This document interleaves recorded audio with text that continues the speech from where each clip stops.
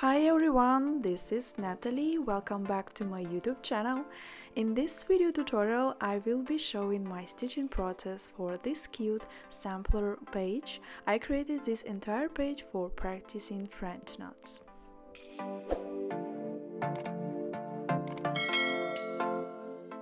And I decided to make this page differently and painted this colorful background first using watercolor. I experimented with painting on fabric for the first time and I find it really satisfying. I think it turned out great and I will be using watercolor in my future projects.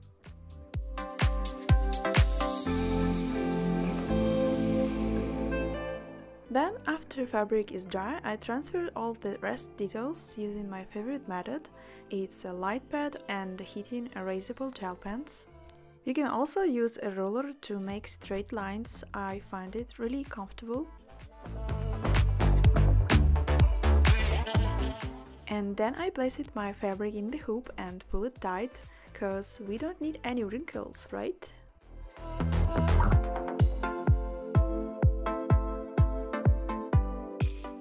I stitched all the letters using black floss like I did in my previous video tutorial for lettering. You can find all the links for my previous video tutorials in the video description below.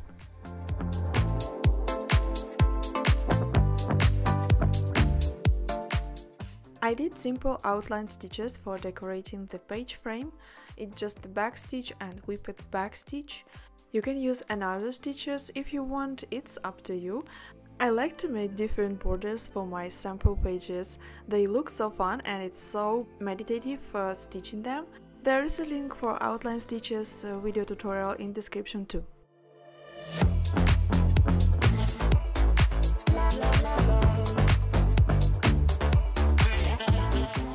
Now let's start stitching this block for French knots. This will become a great reference for you. You can compare how different French knots can look depending on how many strands and wraps you can use. I'll start from 3 strands column, making a French knot with 1 wrap and then 2 and then 3 wraps.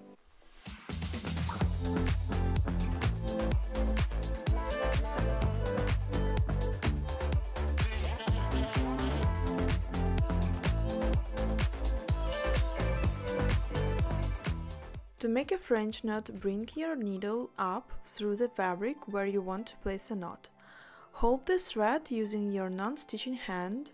Wrap the thread around the needle once for a small knot or more for a larger knot. To finish the knot, insert the needle back into the fabric close to the hole you came out, but not in the same hole. Then slowly pull the needle and working thread through the wrapped loops to complete a French knot. And you got a nice French knot. See, it's super easy, just get more practicing and you become a pro after stitching my sample page.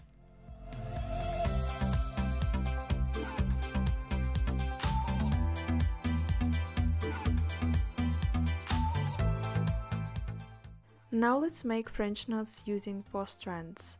I noticed that one wrap looks like two wraps from three strands column. Two wraps look similar to the three wraps from the previous column. Isn't it interesting? This pattern I can relate to all sizes of French knots by diagonal from bottom left to the top right. Did you know it? Leave a comment below if you find it interesting and let me know your thoughts.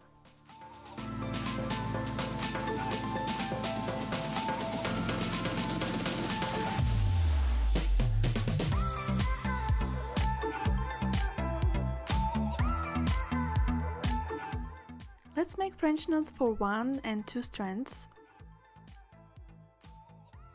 I like making French knots, it's one of my favorite stitches. For me they are simple to do, but for you can be a little bit tricky. And I know that many people even hate French knots and are waiting to do them. That's why I created another very detailed video tutorial for French knots, where I'm showing lots of tips and tricks how to make them properly and which mistakes people often do. In this video tutorial, I'm walking you through all the steps such like choosing the right needles and fabric.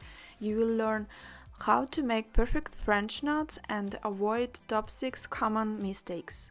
I replicated all of them and showing what went wrong and how to fix it.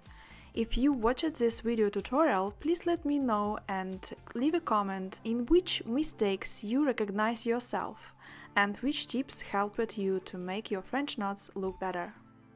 I'm really curious because I know that it can be very frustrating if you are trying to make French knots without knowing the technique. Trust me, it's a lot easier as you think and it's worth spending some time to learn how to do them properly. Now let's go back to the sampler page. Did you know that you can use French knots as a filling stitch? Yes, you can!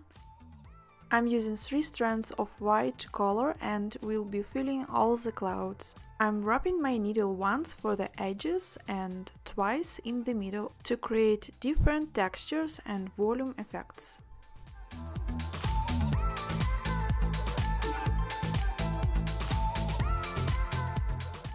Phew, that was a lot of French knots.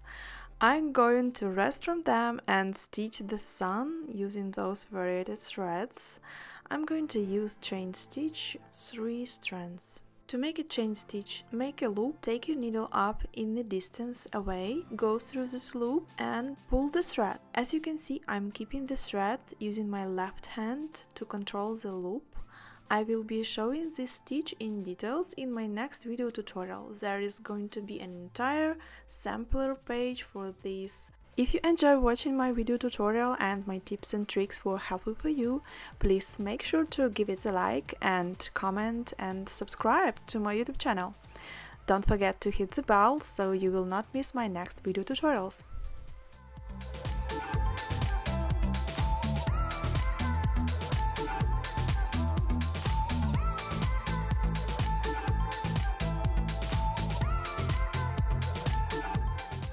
And here I decided to experiment with brush pens. I figured out they can bring you some bright colors, but also they spread over the fabric a little bit. So this is what I got. Looks nice for the sun, but can be a problem in other places. Just be careful.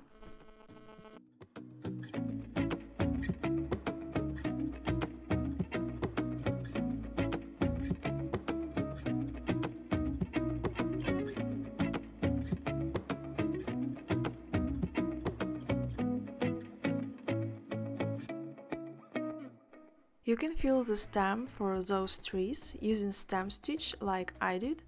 I used two strands of floss or it can be satin stitch or split stitch.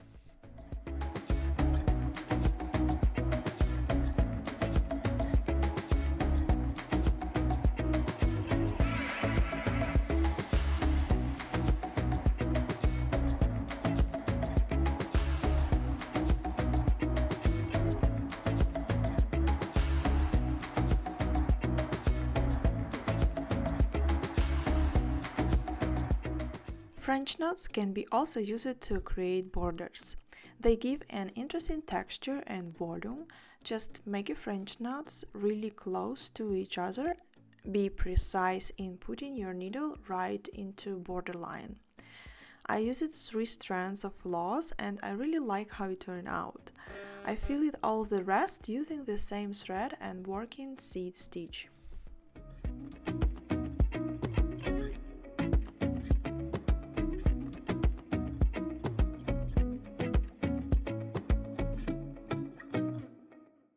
Seed stitch is just random short stitches in different directions made close to each other.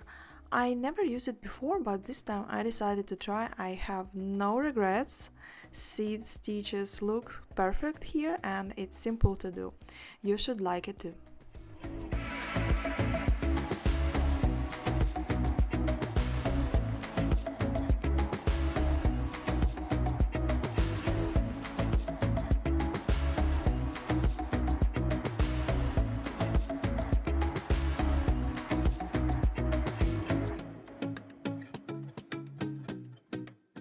And this is one more successful experiment. This time it's about mixing two similar thread colors. I used a combination of two thread colors, two strands from light green and two strands from darker green. And look how cute it is!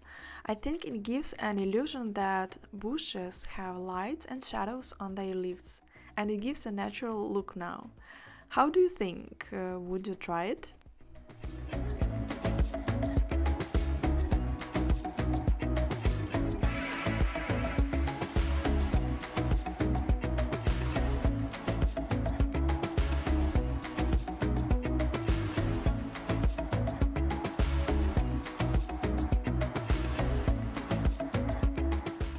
You can use French knots to make teeny flowers like this. One yellow knot in the center and six pink knots around it. I used two strands. Remember that the size of the flowers depends on the amount of strands you use.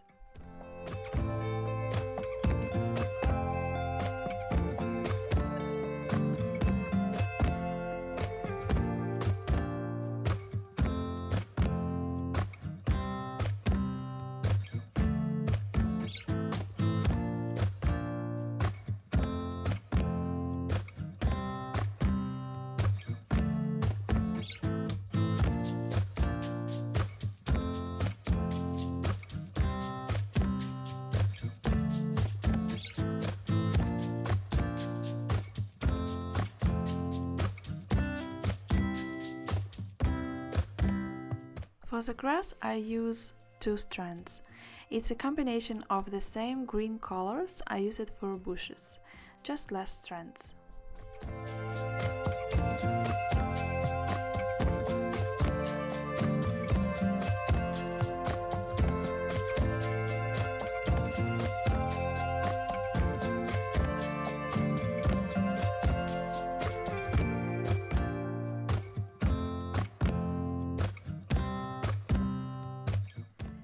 And here we go, it's my favorite part with the sheep.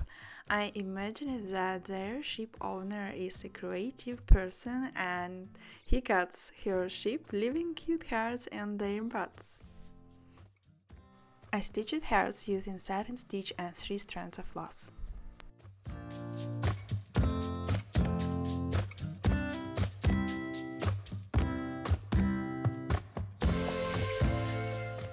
Let's get into the details and stitch the sheep face. First I stitched it using satin stitch. I started filling from the stitch in the center and then move it to the right and to the left. This way I can keep the stitches direction better. Then I added eyes using French knots, it's just back stitches. Everything is simple, you just need to remember where those eyes and mouths are located because uh, all the marks left behind the satin stitch. I hope you will need it.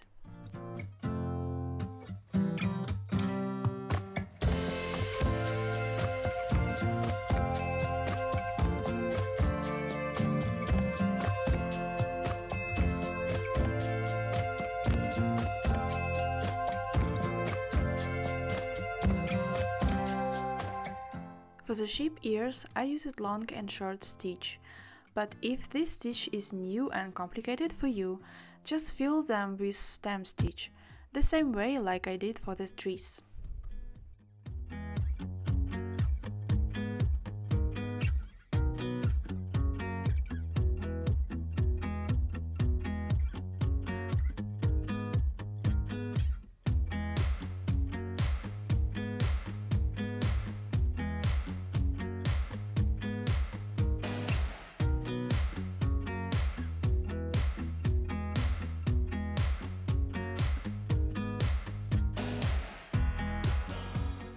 And here I decided to add some floral crowns for my sheep. Look at them, they're so cute!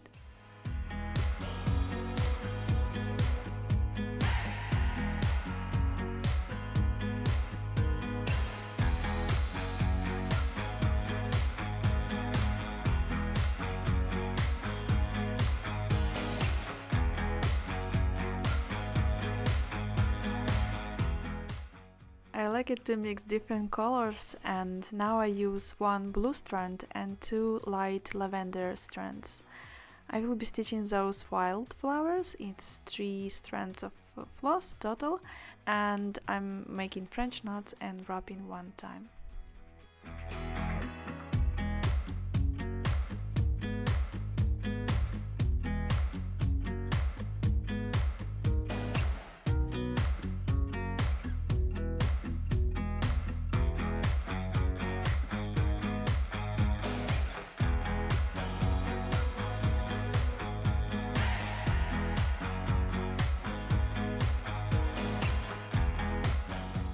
For the stems I use backstitch and one strand.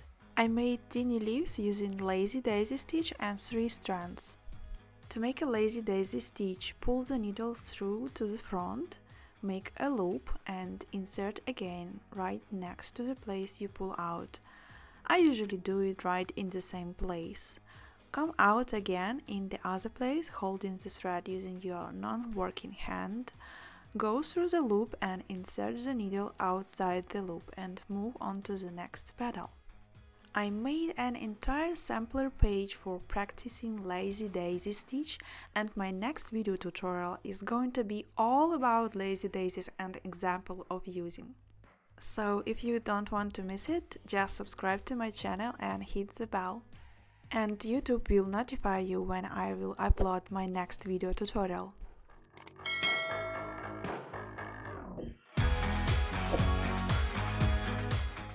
You can get this sample and many other samples like this if you join my stitching club on Patreon. It's a perfect place if you are a beginner and don't know where to start. Definitely check out my Patreon page to see all the benefits you can get. That's it, thank you so much for watching and see you next time. Bye!